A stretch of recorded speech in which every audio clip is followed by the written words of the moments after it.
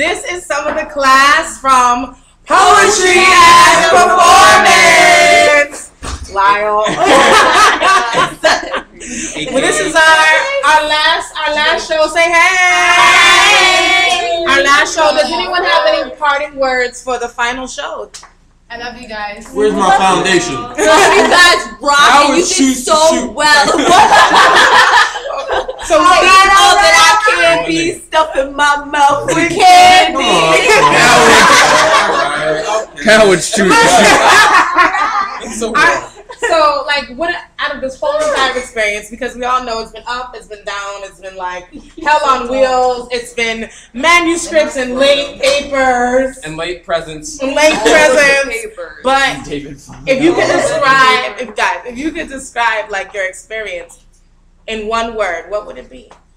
Like Amazing. Magical. What did you say? Life. She is a cheater. She's a cheater. How, how is she a cheater? Caviar. Growth. Growth. Growth. Yes. Yeah. So, what would be your parting words to the new class that's coming in for Poetry as Performance? Poetry is not a luxury. Good luck. Invest in whatever coping mechanisms you need now. Make Give yourself a your notebook. stash. Make love to your notebook. Journal. To your journal. To your journal. All right, they got to get ready for show. All so right, say deuces. bye. This is it.